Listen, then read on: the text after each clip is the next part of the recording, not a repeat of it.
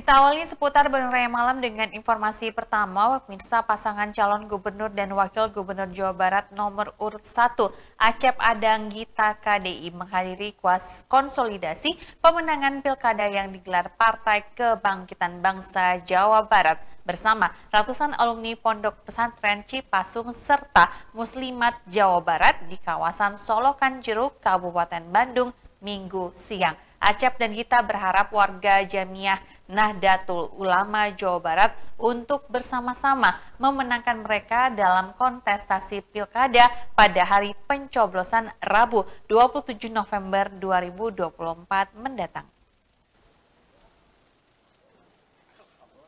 Pasangan calon gubernur dan wakil gubernur Jawa Barat nomor urut 1 Acep Adang Gita KDI menghadiri konsolidasi pemenangan pilkada yang digelar DPW Partai Kebangkitan Bangsa Jawa Barat bersama ratusan alumni Pondok Pesantren Cipasung serta Muslimat Jawa Barat di kawasan Solokan Jeruk, Kabupaten Bandung Minggu siang 13 Oktober 2024.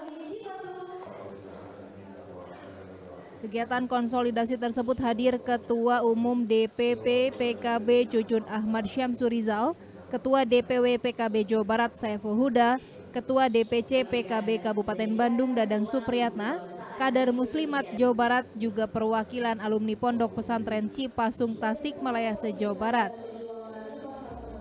Calon Gubernur dan Wakil Gubernur Jawa Barat Acep Adang Gita KDI berharap warga Jamiah Nahdlatul Ulama Jawa Barat bersama-sama bekerja keras memenangkan pilkada serentak baik pemilihan gubernur dan wakil gubernur serta bupati dan wakil bupati pada November mendatang.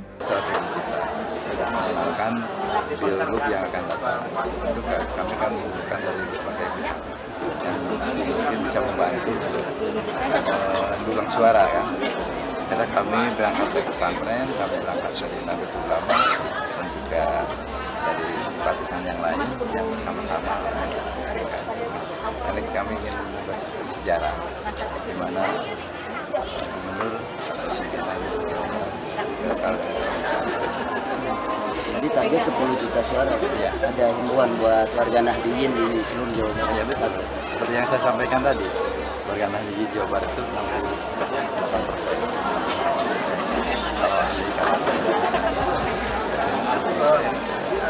Sementara itu, menurut Wakil Ketua DPP PKB Cucun Ahmad Syamsurizal, dengan pemaparan program-program pro rakyat yang diutarakan oleh Acep Adang dan Gita KDI, dirinya meyakini alumni Pondok Pesantren Cipasung yang kini berjumlah 1,5 juta orang akan mendukung penuh pasangan Acep Adang Gita yang berasal dari kalangan santri.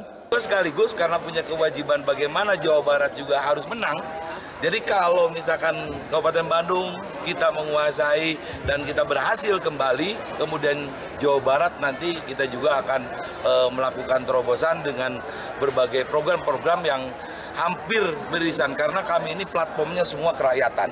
Ya, tidak ada perjuangan-perjuangan kami kepada seluruh kandidat ini yang e, berbicara lain-lain atau target-target yang tidak e, berimplikasi kepada apa keumatan atau kerakyatan. Insya Allah Aceh Padang kita akan mewujudkan bagaimana masyarakat Jawa Barat percepatan kesejahteraan bisa dicapai.